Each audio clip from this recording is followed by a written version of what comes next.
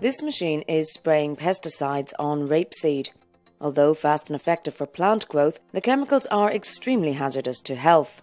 This French farmer is now suffering from cancer due to the use of pesticides on his farm.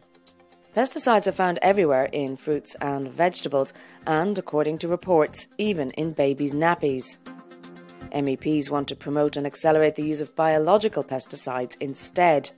We use uh, too much of uh, ordinary commercial pesticides, which are chemical, which are mostly dangerous. These chemicals were uh, were designed to, to kill living subjects, huh? and they are they are causing damage on our health as well.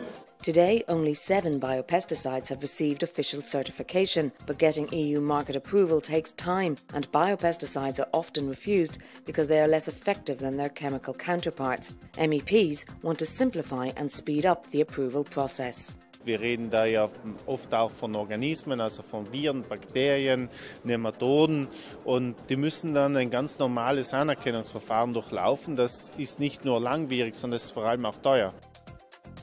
Some farmers have already embarked on alternative techniques without pesticides, but this takes more time and effort, and biopesticides could be the solution.